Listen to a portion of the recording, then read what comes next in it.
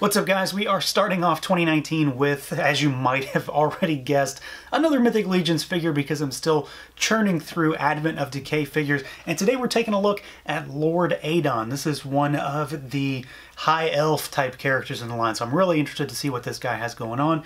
You can see him there in that standard Mythic Legions resealable packaging. He is in the big window there. We do have a bio for this guy on the side, and then the back has that same artwork we see throughout the lines. So let's do it. Let's pull him out, take a look.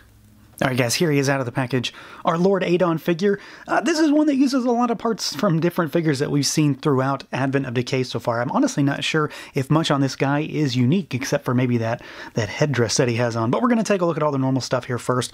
We're going to kick things off as usual with articulation, see how this guy moves around. Now, as you might have expected, he is going to be pretty standard as far as Mythic Legion's 2.0 style bodies go.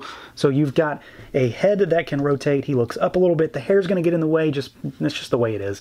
And he looks down. Arms go out, swivel around. We've got a swivel elbow with a hinge. We've got swiveling at the gauntlet, swiveling at the wrists, hinges. You've got that mid-torso cut so he can go left and right, back and forth a little bit, not too much though. And then you got a waist twist and he can also bobble a little bit down there as well. Legs go out, kick forward, kick back, thigh cut. You've got a single jointed rotating knee we've got rotation, and we've got rocker and hinge down at those ankles. So it's it's standard Mythic Legion stuff for the newer style figures. So you're getting, you know, exactly what you'd expect to get if you've seen any figures that look like this before, Malachi Cinderhorn, Grisha the Slitherer, figures like that. Now, in terms of the overall look and feel, the design for this guy, he very much gives off kind of a regal, high elf type of look. He's got the browns, the coppers, the green color scheme going on, and I think it works really, really well. This guy, of course, like I've already mentioned, uses a lot of parts that we've seen already in this line. So parts from figures like Grisha the Slitherer or Malachi Cinderhorn, stuff like that, which is pretty normal. A lot of the elves really share the same type of look, which, you know, that kind of works. But I really do like his color scheme. I really, really like the leather aspect that they've got going on with the paint on his chest here. The gold accents all over really work to make him seem a little bit more I don't know, maybe a little bit more important than some other elves. There is a lot of nice dry brushing on the copper plates on his thighs down here with that kind of royal blue color that runs through his armor. It also runs through up on his shoulders, which carry that same color scheme. It kind of blends the upper and lower halves of the bodies together.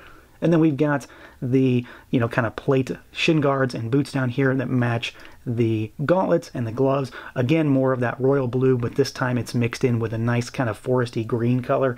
So I really, really like that. He does have the uh, rubbery sash piece that sits on his belt. So he's got one of the more audacious kind of belt buckles here. And then on the backside, you can see a lot of exposed chainmail.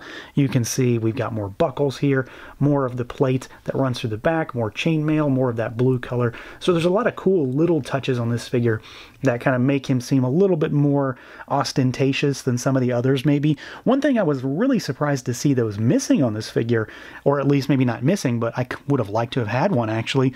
I feel like this guy needs a cape, and he just doesn't have one. I feel like for being, you know, a slightly more elevated position in terms of the Elven Society and Mythic Legions, this guy should have had one. I'm really surprised to see that he doesn't. I'll wait and find out if I'm actually missing it or not, but he definitely didn't come with one.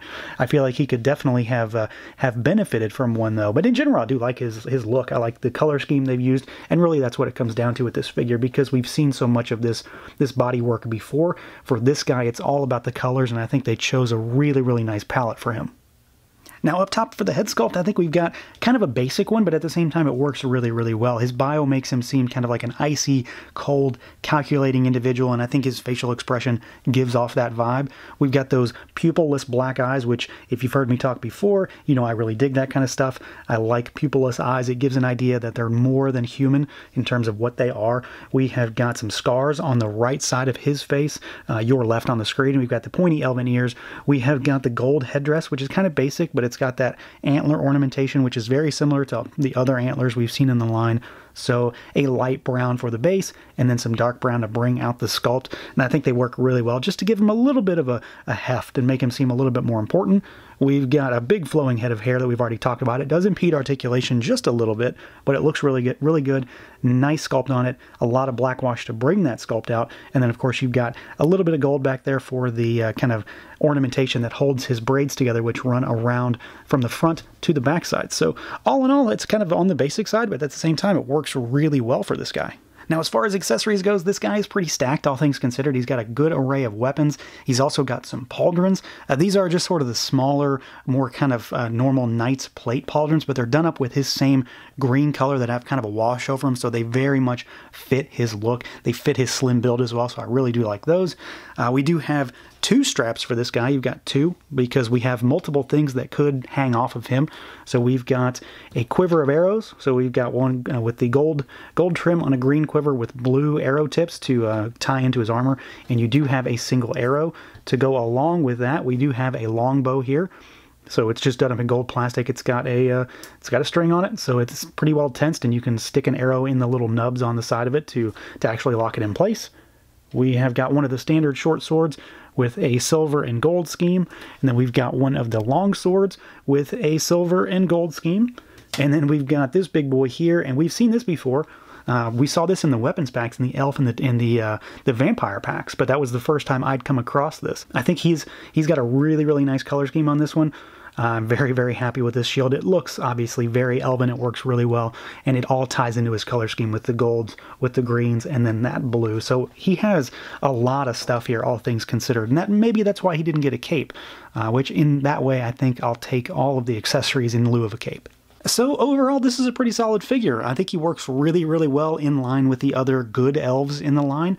Uh, he obviously didn't make my top 10 2018 favorite Mythic Legions, but that doesn't make him any less impressive. He's got a great sculpt, which we know from other figures. He has a fantastic color scheme. Paint job is on point. He comes with a ton of accessories, and in general, he just looks pretty cool. There's really nothing, nothing to complain about with this figure outside of the fact that I do think he does need a cape, but at the same time, if didn't get one because he has so many accessories, I think I'll take a pass on that one.